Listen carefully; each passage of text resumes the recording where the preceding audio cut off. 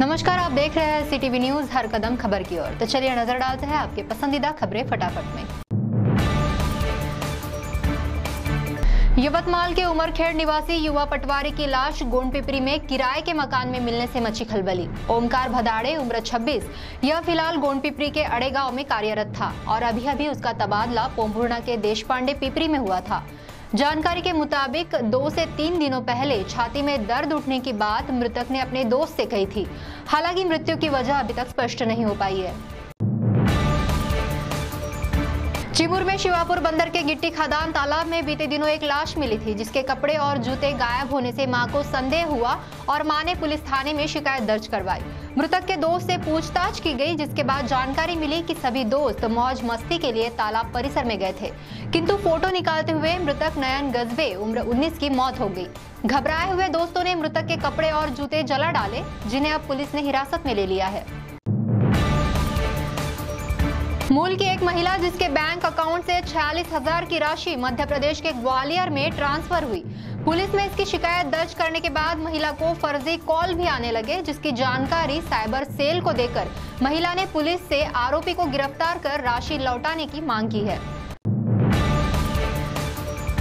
चिमूर के गोंदेड़ा में ग्रामीणों ने रात भर जाकर रेत तस्करों को पकड़ा। बिना नंबर की ट्रॉली सहित तीन ट्रैक्टर एवं बिना ट्रॉली की एक ट्रैक्टर ऐसे कुल चार ट्रैक्टर जब्त कर ग्रामीणों ने ग्राम पंचायत कार्यालय में जमा किया है।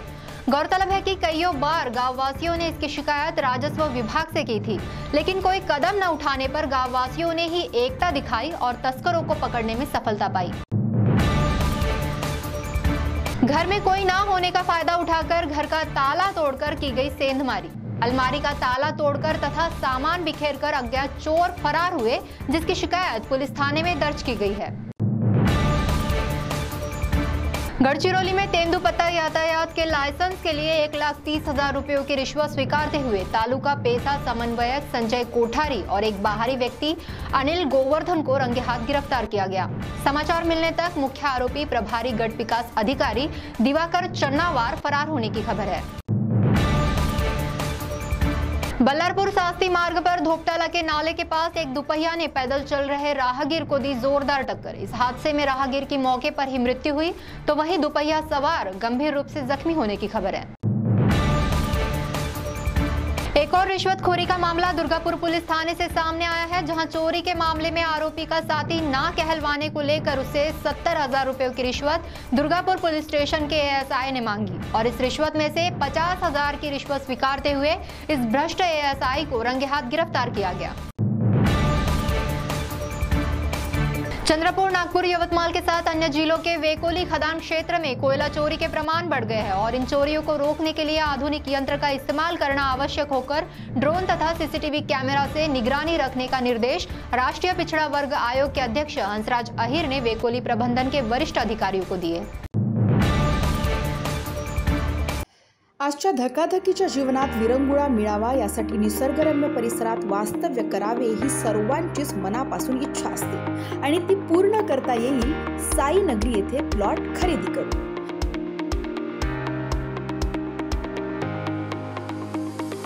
चंद्रपूर येथील विमलादेवी आयुर्वेदिक कॉलेजला लागून असलेल्या मौजा वांढरी येथे सर्व सोयी सुविधांनी युक्त असलेले प्लॉट उपलब्ध आहेत. तेही फक्त तीनशे नव्याण्णव रुपये प्रति स्क्वेअर फूट आणि महत्त्वाचं म्हणजे ही रक्कम आपल्याला एकाच वेळी द्यायची नाही. ती आपण देऊ शकता बारा महिन्याच्या दीर्घ मुदतीत. आजच आम्हाला खाली दिलेल्या क्रमांकावर कॉल करा. आमची कार तुम्हाला घरी घ्यायला येईल आणि आपलं स्वप्न पूर्ण करण्याकरिता घेऊन जाईल. आमच्या ऑफिसचा पत्ता आहे आदर्श पेट्रोल पंप जवळ Bengali camp Chandrapur.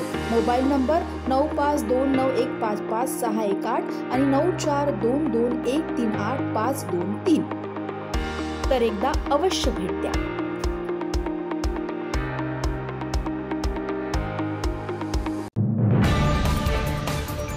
तो सी टीवी न्यूज़ हर कदम खबर की ओर में यह थी खबरें फटाफट। मिलते हैं कुछ ही देर में नई खबरों के साथ। आप बने रहिए सी टीवी के साथ। नमस्कार।